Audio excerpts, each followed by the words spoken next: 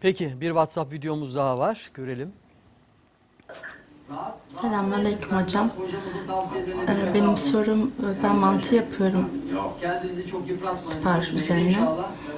Ama benim eşimin gönlü olmuyor. Mantı yapmamı istemiyor. Hiç gerek yok diyor.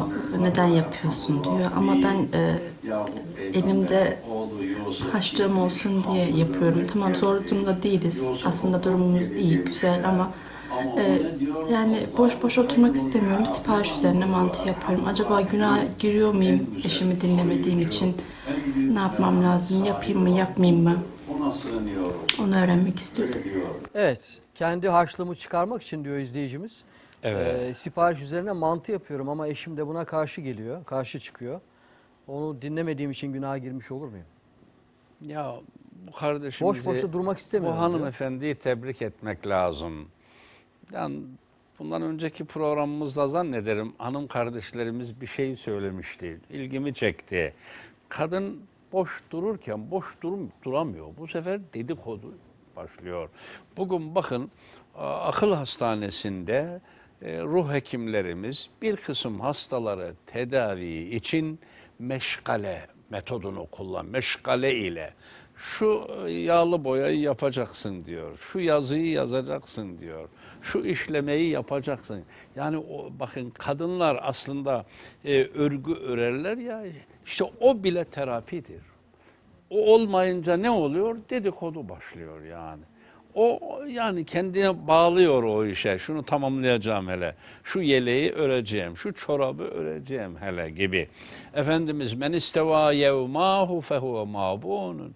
İki günü birbirine eşit olan ziyandadır. Peygamber Efendimiz bakın Tebük seferine gidiyor. Yerine Sa'd ibn Muaz'ı vekil bırakıyor. O da bağ bahçe işlerinde çalışıyor. Elleri nasırlaşıyor. Ee, Efendimiz Medine'ye dönerken Medine hududunda karşılıyor. Hoş geldiniz.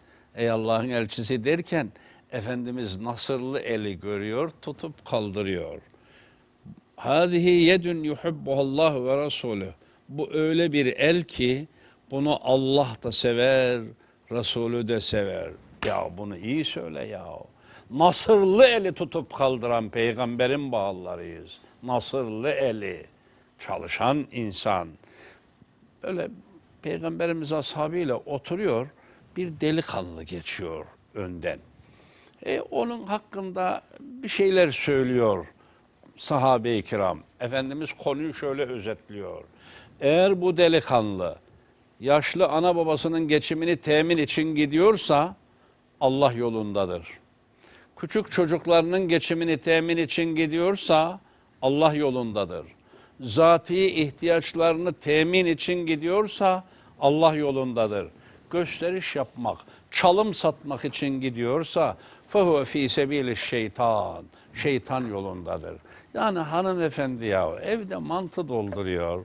Hem Allah'ın kullarına hizmet ediyor hem oradan e, sebeple aldığı üç kuruş haşlık olacak ona.